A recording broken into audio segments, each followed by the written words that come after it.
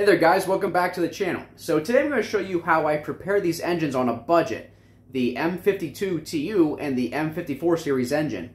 As far as a budget goes, I'm literally pressure washing parts in the backyard and I am assembling the engine in the basement of my own home. So it's a pretty budget friendly little refresh here. I'm going to show you how I assemble these engines, how to replace certain gaskets, uh, mainly just the major ones.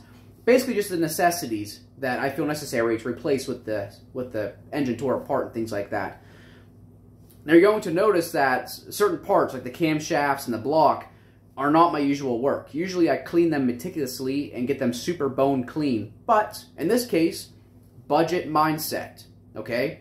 This to be a pretty fun video, pretty long, but I'm not going to put any advertisements in the middle of this video. I absolutely hate that. I'm going to put advertisements in the beginning and only the end, nothing in the middle. Middle, we don't want that. So without further ado, let's get into this budget refresh. So here is the oil pan after uh, some pressure washing, a little bit of scrubbing. Mainly want to be worried about the inside of the oil pan, get a, as much of the varnish as you can out. Realistically, you shouldn't have to do, do it this clean, but I'm kind of picky, so... The outside, you can also do pretty well. I didn't go crazy with it, but it cleaned up pretty nice. Alright, let's go here and discuss this engine now. What stands before us here is a M52 TUB28. As you guys know, my favorite non-M E46 engine. We'll discuss that in a little bit as to why. But today's video is going to be focusing on certain things to look out for while you're tearing down these engines and how certain uh, parts work in these engines, including the oiling system. So, uh, whenever you remove the cylinder head from these, it's very common uh, that these blocks, they will pull uh, threads during retorquing of the head. More commonly, if the engine was overheated, because actually ruins the temperament of the uh, the threads in here. Okay, I want to discuss one big issue with these uh, engines. It is widely known amongst the communities. Uh, is going to be the oiling the oiling system, the oil pump. More prominent on the 3.0 liter, although they will all do it. The oil pump nut tends to back off. What causes that, do you think? So, where it all starts is the chain begins to stretch, and these non M blocks having no sort of chain tensioner it begins to sort like it acts like a whipping motion whenever you're hitting rev limiter. Also does not help to have a worn crankshaft sprocket. As you can see, there's like a rubber inlay built onto it. This is a used one. You can see the markings of the chain in the rubber. So this being worn, paired with a stretched oil pump chain, is going to wreak havoc if you keep, if you constantly smack rev limiter. You can actually snap your oil pump shaft. So bare minimum, if you have your oil pan off, it's wise to bare minimum at least replace your chain. Now, these from factory are a solid chain. There's no master link. So if you're not removing your timing cover or messing with that stuff, there's still an option to replace that chain. You can buy a split chain, which takes a master link from the company called iwis. What that involves is simply, I'm going to probably just grind the nub off of this chain and just separate it and run the new chain up through and master link it. I'll show you how to install that because I have one coming in the mail supposedly today. We'll see. So here is an exploded view of an oil pump so you can see how they work. This one's from an M54. Here's your oil pump housing. Here is one of the gears. I'm not sure what they call this style of gear. It all just works with, uh, I think the proper term is like hydrostatic. Out. It's There's no gaskets to this besides the pickup tube O-ring. There's no gasket sealing this. There's no gasket that seals the housing to the block. It seals by its own means with the oil. Pretty cool. Then you have this gear here, which goes in, obviously goes in here. It almost mimics a power steering pump, I believe, internally. And also something cool is when it comes to these M52 TU engines, they have the oil pump and they have the uh, windage tray, all one big assembly.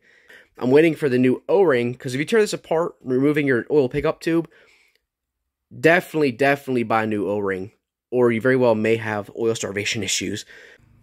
Once my packages come in the mail, I'm going to show you some reassembly action of these engines. And here we are, the following day, some parts did arrive, including the head gasket, and some other miscellaneous things. So I'm going to focus on that today. I'm going to focus on getting the cylinder head back on the block. Now to do that, uh, very, very important to prep the surfaces adequately, get them nice and clean. All I do is I take a razor blade and I will scrape along the mating surfaces, both the head and both, both the head and the block. This does excellent at removing gasket material. Then once you're done, done scraping and everything, take some microfiber rags, some acetone, and get everything just super clean and dry. Also, if you're by yourself like I am, I like to tape or zip tie the timing chain to the main guide here, and it just holds it upright like that. Because when we go to when we go when we go put the head back down when you're by yourself, it's very hard to maneuver this guide through that port. So whenever you tape it or zip tie it, it naturally just wants to hold it up with the chain. Also, directly before you place a head gasket on this block, you want to take uh, some RTV silicone and you want to put a bead across this crevice here between the timing cover and the block to seal it up. So, both mating, both mating points right here, some RTV, some RTV here. And also one last quick thing, uh, depending how in-depth you're going with your engine rebuild here, or refresh, there is a replaceable oil check valve here in the cylinder head. They're about 50 bucks brand new. This is a little check valve, and they are serviceable. Okay, here we are. We're going to do the final torque pass on the cylinder head. And in my case, with this specific head bolt that I've chosen, the final pass torque is only 64 foot-pounds. That seems very low, but I will explain later. So we're going to check these real quick. I want you to just gently lean into it. There's one, two, three, four, five, six, seven, eight, nine, ten, eleven, twelve, thirteen, and number 14 up here in the corner. Now, the reason I'm only torquing these 64 foot-pounds for the final pass is because I'm not using the OEM head bolts. Believe it or not, the OEM head bolts, they actually begin yielding as low as 60 foot-pounds anyway. Whenever you're done using a torque wrench, always put, always put, put it back down to zero because you can wear out the internal springs if you don't. So, the head bolts I'm using are a Allen head, as I'm sure you've seen. An Allen head cap bolt right here is a 12-9 grade Allen head cap bolt, uh, a thread pitch of M10 by 10, and a length of 110 millimeters. I'm also using that with the OEM head bolts, head bolt washers, just like that. Now, it is important to take these washers and actually put oil on them, lubricate them. I'll put them in a container as such, pour some oil in there so they're sitting all nice and getting all lubed up. That is because during the torquing of your cylinder head, you want it to be nice and smooth. No excessive friction while you're torquing that head bolt down, right? We're also going to lubricate roughly 30 millimeters of each head bolt with engine oil to also help it thread down to the block nice and smooth as you're torquing down this head. I do them one at a time with an engine with an engine oil weight of 10W40. I found to be best for these. Uh, 5W weights seem to be a little bit too thin. 1040 seems to be just a real nice sweet spot to get real nice smooth torquing. There's also two more bolts you cannot forget about. They are up in this upper corners here of the, of the cylinder head. They are two E8 bolts, meaning external torque socket number 8. Now, when it comes to other things on this engine I've replaced so far, it's going to be the heater pipes. Right here and right here. This upper one, bolting to the cylinder head with a number, with a number, yeah, with a 10 millimeter nut, and then it's retained to the block using a 13 millimeter bolt. This lower heater pipe, two 13 millimeter bolts, now, this is a good key note is for all-wheel drive E46s, 325XI and 330XI, this heater pipe is different as they have different engine mount arms, okay? It's going to bolt to the arm of an XI. Whereas rear-wheel drive have a different style bracket here, so they are different. Keep that in mind. We also have the knock sensors for bank 1 and bank 2. They come to one plug right here. Intake intake camshaft positioning sensor right here.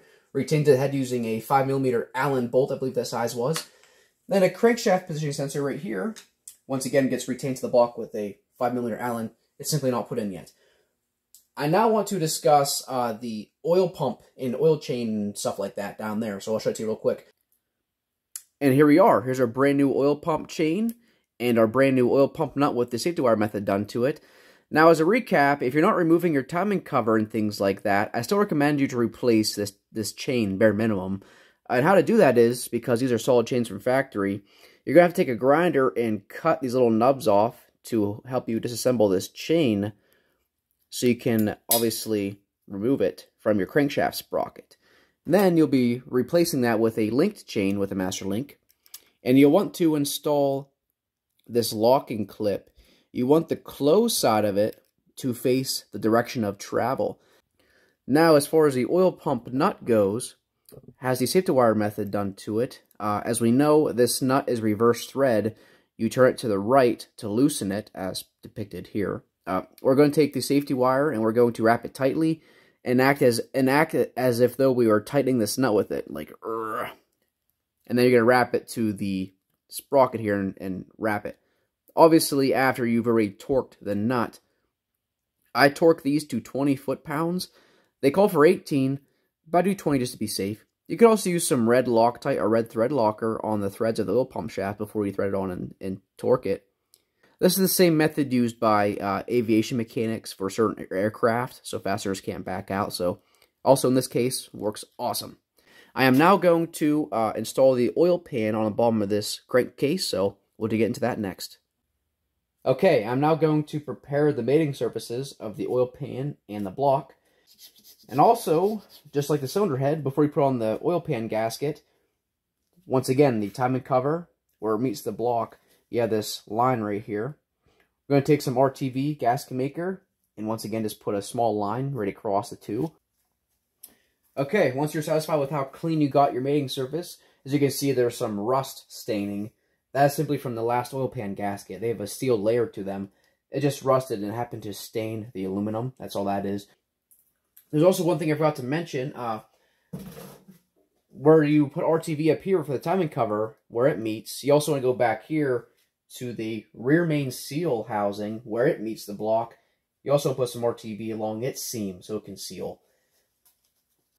Just put a little, you don't need much, just a little dab like that. That's all you really need. A little dry piece in there. I'm just going to like kind of dab it into the crevice. Gonna lay this on just like so. Right down on there. Line up all of the holes. Take your nice, fresh, clean oil pan, spin it around, set her on.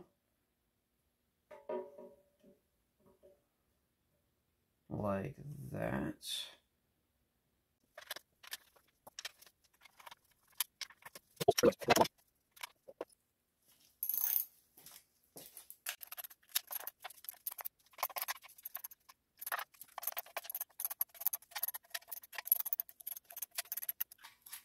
Now the next feat, I'm going to probably prepare the oil filter housing to bolt onto the side of this block.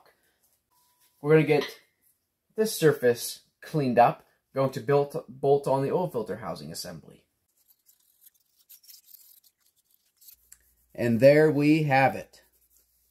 So, the gasket in question is this right here, is what seals the oil filter housing to the block. Okay, let's go ahead and get this uh, this gasket out of here. Simply take a pick tool like this, get underneath it somewhere, and just work it out of its little home or channel. There's the old gasket. Take a new gasket. Gonna just lay the gasket in here. Just gonna kind of knead it the whole way around. Make sure it stays in there. This little black thing right here, this is an, an anti-drain back valve. So it's to hold oil in the in the housing at all times. This is a little, it's uh, has a spring behind it. Whenever you actuate it, oil would come flying out if it was full. It's just an anti-drain back valve. Let's go ahead and bolt it onto the engine. Okay, there are six bolts in which mount the oil filter housing to the block. Two, four, and six. They're going to be three different size bolt lengths here. Got this long one, medium, and short ones. It's very easy to tell where they go once you get the housing on and you put them in one by one. They should all be equal lengths from the surface of the oil filter housing, okay? Going to place it onto the block. I'm going to double check the gasket one last time, make sure it's good. I'm going to take our bolts. We're going to look. This long one obviously is going to go right here, right? It's going to stick in just like that. These medium length ones, we'll find the next most meaty spot. Looks to be right here. there's two mediums and right here. The rest should all be the shorter size ones. They are all 13 millimeter fasteners and they get torqued to 18 foot-pounds. There we go. Now I'm going to grab my torque wrench and once again, we're going to torque this down into like a crisscrossing type pattern to make sure we seat this evenly.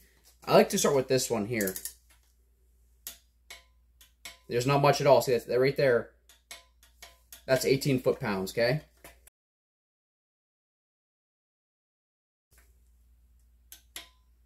That's it. Just like that. Thread it down in.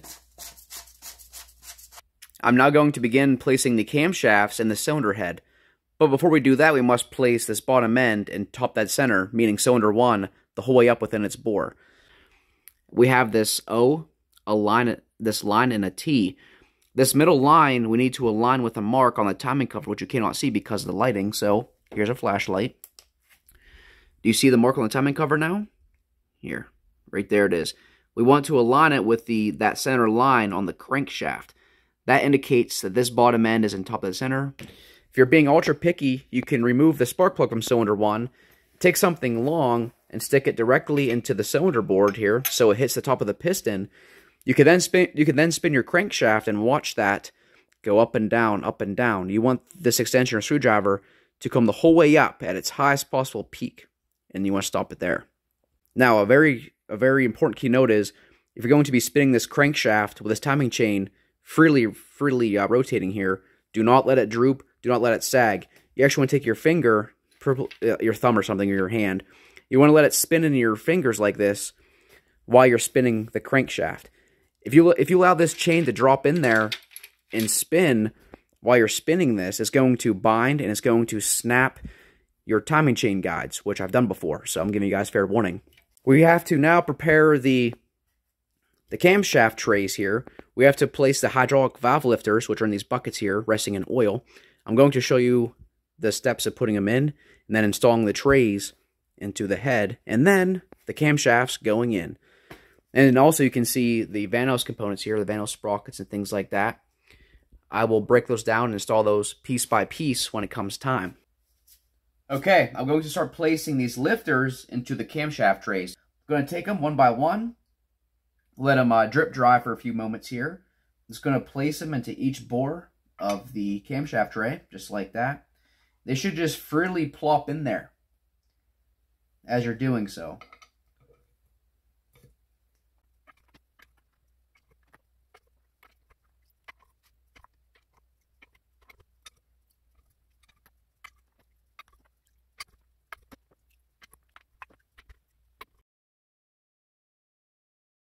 Okay, these are now ready to go into the head. Here's our cam tray ready to go in. Now, as you can see, the engine on the stand is almost totally sideways.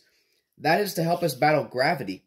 As if, if the engine was totally upright, you go to put this tray in, and these lifters will just want to fall out on you. So we go sideways to help us seat the cam tray without losing any lifters. Also, make sure you're putting it in the proper way. The letter of the cam tray will be forward facing. Uh, the letter A is German for the term exhaust. So this is the exhaust side. A is exhaust. A does not mean air. It goes on the exhaust side, whereas the intake side will have an E on it. Go kind of fast with it, just like that. There we go. No lifters fell out. Cam tray went right in. Okay, here we are. The engine is now seated upright. Now what's going to go? What's going to happen is we go we go to try to seat the intake camshaft tray over there. We're going to try putting it in here. Those lifters, they're going to fall right out due to gravity. So what I do is I take something like this. If you don't know what this is, this stuff is used in shipping. It comes on large boxes that are heavy. Usually helps hold them together. I'm going to take this stuff. I'm going to go off camera here. You still see it over there. I'm going to lay this across the bottom of that camshaft tray. I'm then going to make sure it's tight. Hold it, hold it on both sides. I'm then going to flip the tray. It's going to hold in those lifters as I walk it over here. Then you'll see how I remove it once I'm done. And one more time, the letter will be facing the front of the engine. And also, the letter E means intake, not exhaust. So do not get that confused, okay?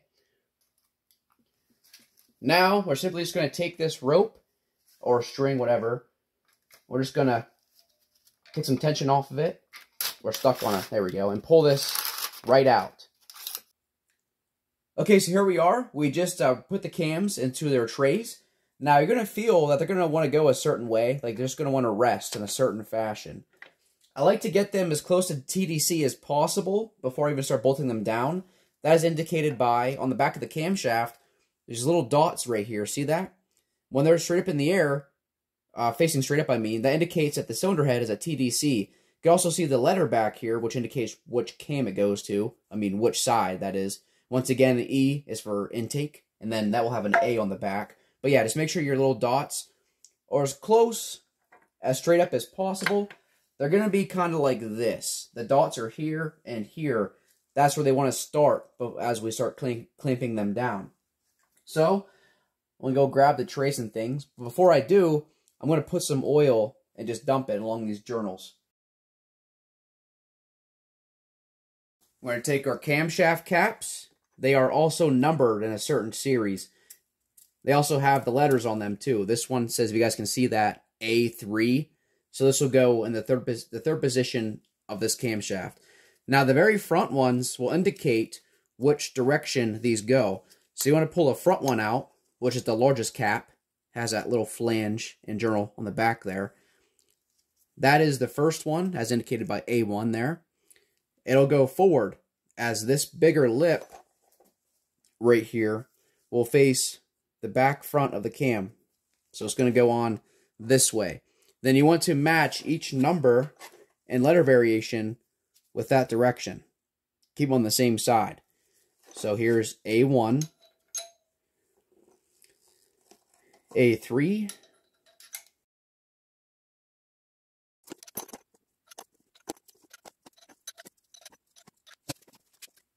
Once all the camshaft caps are on, go ahead and just wiggle the cam a little bit once and more. You see how, how they just kind of dropped, these ones here?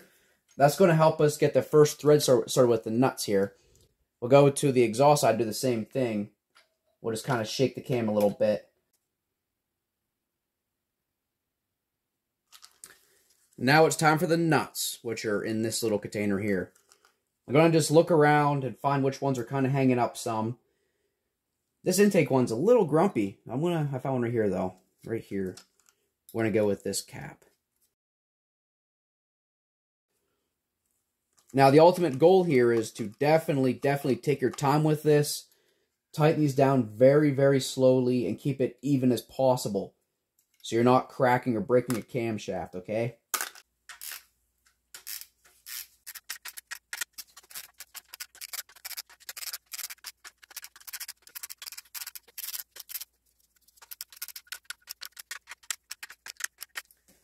Okay, once the camshafts are all evenly torqued down, they're not, they haven't been actually torque wrenched yet. We're going to fasten these to 11 foot-pounds. Before that, I want to make sure there's no binding. I want to make sure they're going to spin smoothly in their trace here. So I'm going to take a T50, I'm going to go to the front of these and go in the socket in the uh, bolt head here. These are very tight, so they should not loosen on you. You can also get the proper size wrench to grab right here because there is a nice indentation here for a wrench but I don't have the proper size wrench here at my house. I'm not saying to do full to do full a full revolution, just some back and forth things right there to help really bed the cam. It feels good to me. It feels really nice. Okay, we're to go ahead and uh, torque these cams down now. Okay, it's time to torque down these camshafts. Once again, 11 foot-pounds, or in my case, with an inch-pound torque wrench, 132 inch-pounds. I'm going to work in the middle and work my way out. There we go.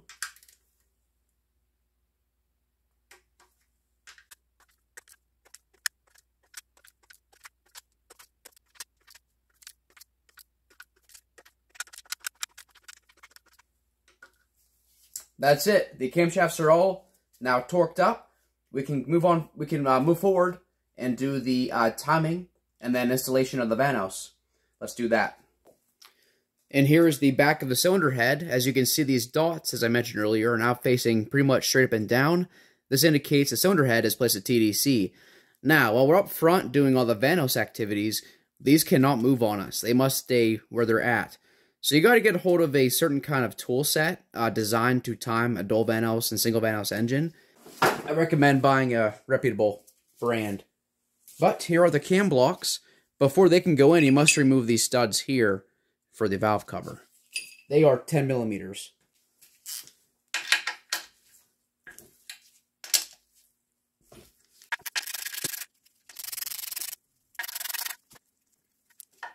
Then you take the the mating piece up here and it just bolts these together so they can't move.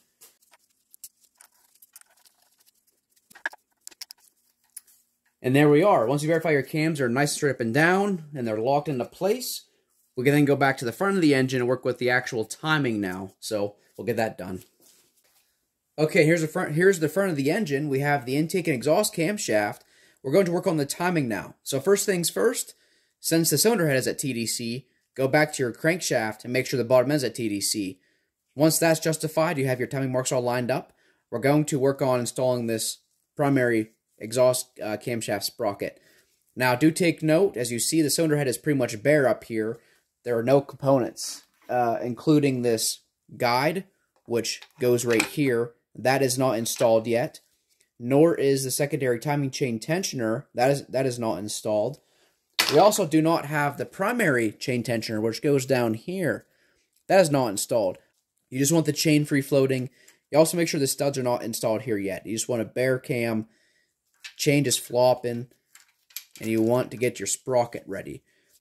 Keynote, there is an arrow on this sprocket. See the arrow right here on the plastic?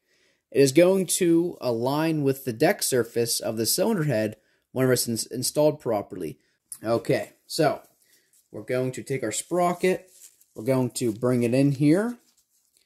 Get your chain ready. Now you're going to apply your own tension. So grab the chain on the left-hand side and just pull up on it. Make sure it's tight. You're going to get the sprocket in here. Grab some teeth. And you're going to visualize the sprocket aligning with that cylinder head, the arrow. Just get as close as you can and slide it onto the camshaft like that. That looks pretty good, right?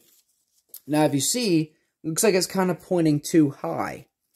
That is because there's no tension on the on that on that uh, timing chain guide. So take a finger and manually press on that guide. Now you can see we are lined up. That is what you want because with tension, that is where that sprocket is going to be. As you can see, it's lined up with that deck surface of that head pretty dang nicely. Now we're going to go ahead and go back to our Vanos timing tool and we're going to grab its included tensioner, which is going to take place in my finger in here. Okay, and here's the included tensioner in that kit. It's just a real simple threaded in solution here, has a middle stud with it, or middle bolt. I'm going to purposely bring this up too high again. going to take this included tool. I'm going to thread it into the location of the primary tensioner. There we go. Then I'm going to tighten this and it will draw down that arrow to the cylinder head. You don't want this thing very tight. You just want to bring it so it's like finger tight. I want to call that good right there. That's all you got to do. Now you can work with the rest of the timing. It is now time to install these studs for the exhaust camshaft. Put them in. They are a 12 millimeter size socket and they will get torqued to 15 foot pounds. There are three of them.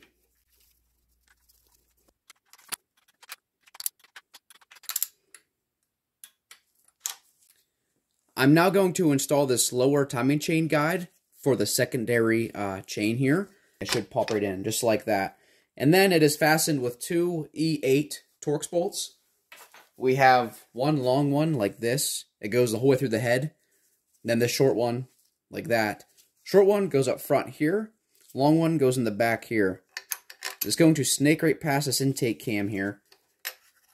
And run right through the cylinder head. There it goes. This front one is going to just fit just right in here.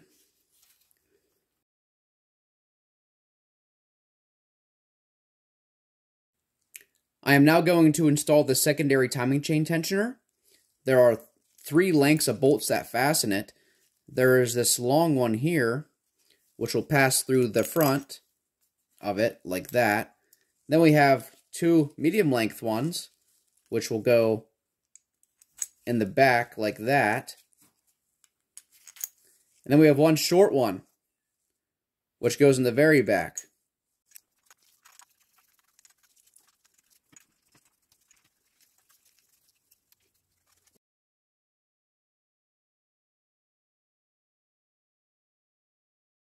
Okay, now we're going to lock this down with a pin, such as this, just to hold it in the collapsed uh, position.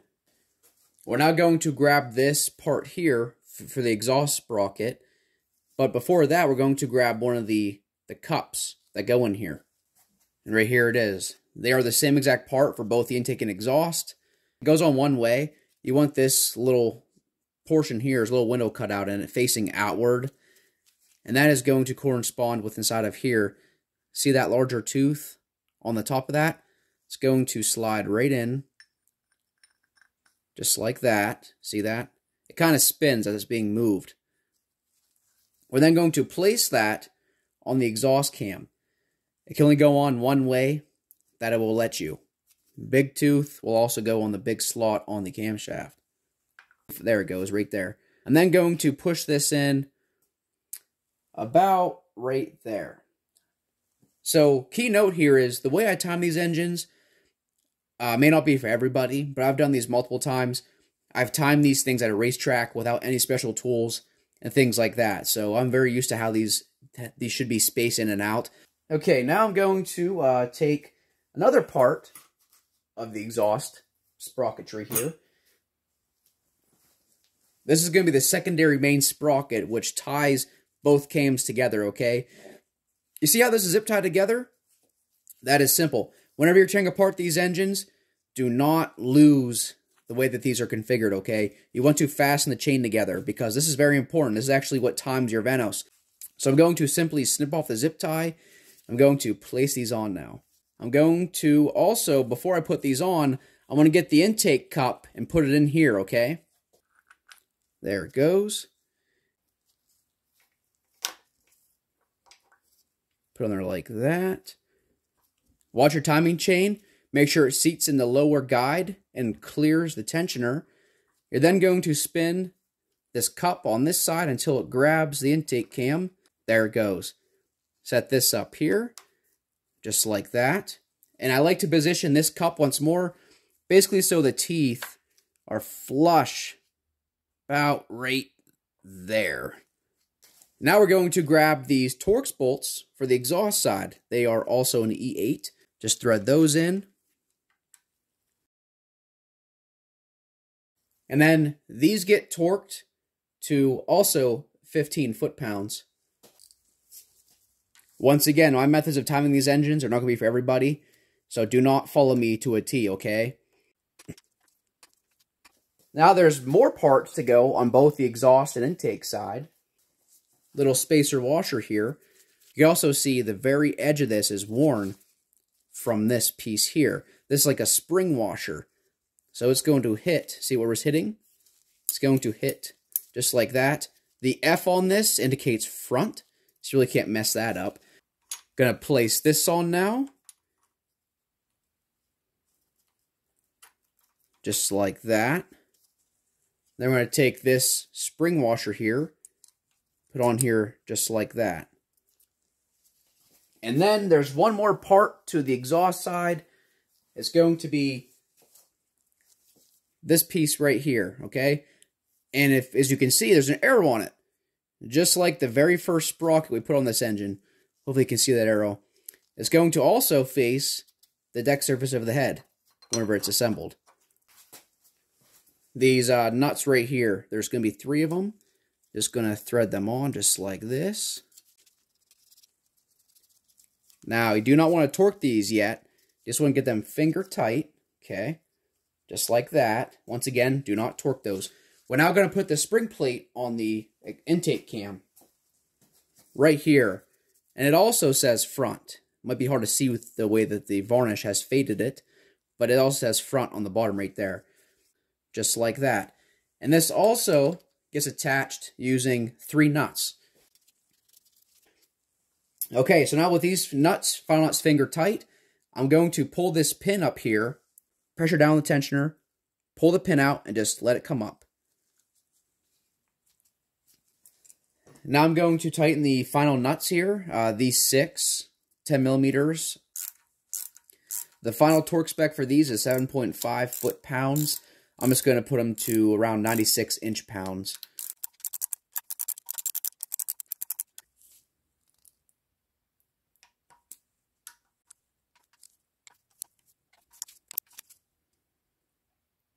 There we go. We can also go ahead and remove our makeshift uh, chain tensioner here. We're going to put back in the proper one. It looks like this. A spring goes inside of it like that. Here's the original spring. Here is a new one. As you can see, it shrunk about one coil, which isn't anything too excessive, but, I mean, it can add up for sure when it comes to a spring. We're going to torque this to 52 foot-pounds. There we go. We have our uh, fresh gasket here on the cylinder head for the Vanos assembly. Here is the Vanos housing. I did rebuild it off camera, as if I included the rebuild process in this video, it'd be a very long video and make the duration even more excessive, so there's the assembly there. Now, what retains it, we're going to have six 10 millimeter nuts, and then a 13 millimeter stud fastener here. It appears as such goes in this top right corner here.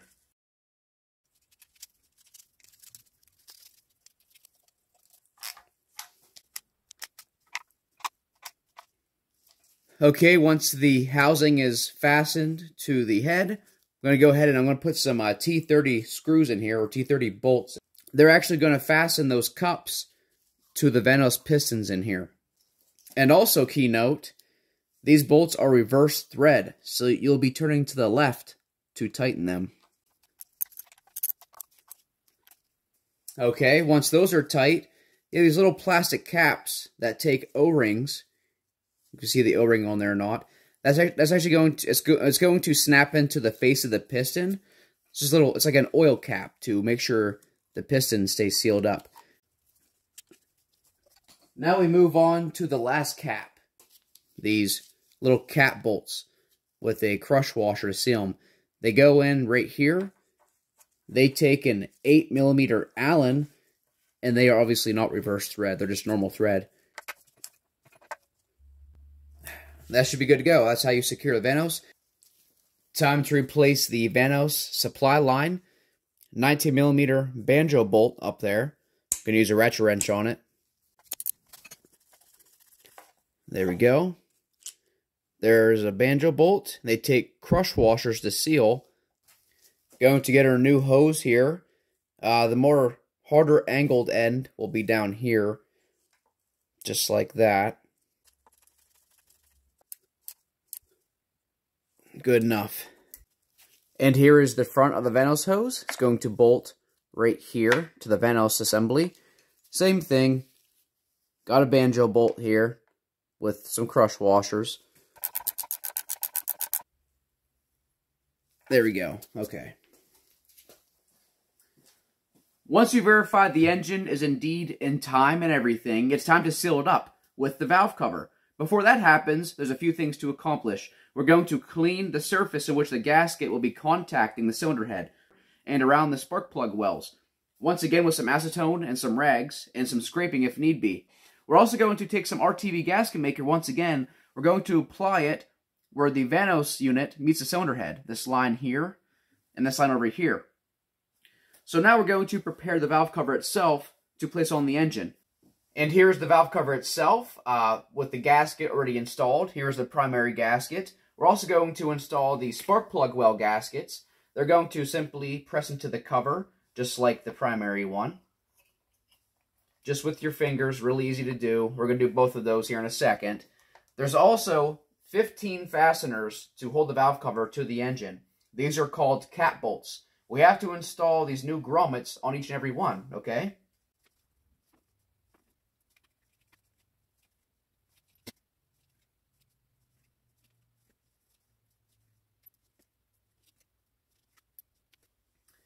Once this is complete, we can now go ahead and just toss this in real quick. into the valve cover. Once your valve cover and hardware are ready to go, I'm going to go back to the engine and show you how these actually fasten down. Because I see a lot of guys snapping these off. Uh, there's really no really no need to over tighten these. I'm going to show you exactly how these things work. Here we have one of the cap bolt studs for the valve cover. And here we have, obviously, one of the cap bolts. You're going to find out, uh, while fastening your valve cover down, that these cap bolts will simply bottom out on their studs. Once you reach that point right there, you need nothing more than a simple quarter turn with your ratchet to tighten it down. And that is all you need. Or you will simply snap the stud off. Because what actually seals the valve cover up are these grommets. They're going to squeeze and compress the valve cover downward as you're tightening. So once these cap bolts reach this stud, it's basically already sealed up anyway. You're just doing that final cinch to ensure these don't come loose. Also, before the valve cover goes on, you cannot forget to install this camshaft cover. This will go on the intake side. It's simply here to avoid excessive oil from splashing and leaving the valve cover vent. So this is going to help captivate the oil so it can't exit the valve cover. It simply snaps on just like that.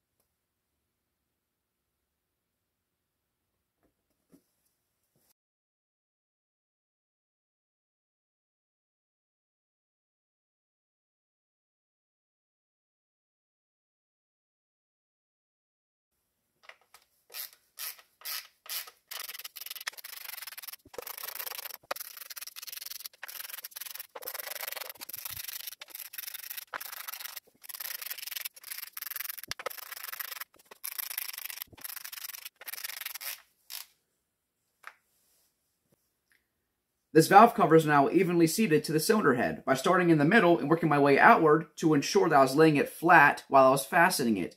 Every time I felt a stud down below, nothing more than a quarter turn addition with the ratchet to ensure it was tight. That is all that these things take. This valve cover is now sealed up very well. Well, what do you guys think? I think as far as this video goes, we are done for the day. I'm going to get this video made up for you guys to watch. I'm satisfied with how much we've covered, how much we've gotten done to this little budget project engine. Now, as far as this vanity cover goes, who recognizes it? I'm going to say very few, unless you're an original viewer of mine, because years ago, this was on my turbo car. It has been sitting on my shelf forever. It actually needs persuasion to be not warped. Kind of depressing. Look at that crack and that warpage. Jeez. Oh well, it's on there for funsies, I guess. But yeah, if you guys are happy with the, the progress so far, just let me know. I'm pretty satisfied with it. Hopefully it runs freaking awesome. If you're not subscribed to the channel, I greatly appreciate it as these, as these cars are my life, and it's all I basically live for anymore. So any kind of love I receive from you guys means a lot to me. Uh, really appreciate it. But as far as tonight goes, I'm going to get the rest of this video edited up, and I'm going to upload it. So I will catch you guys in the next one. Have yourselves a good good night, good day, wherever you're from, and I'll see you later.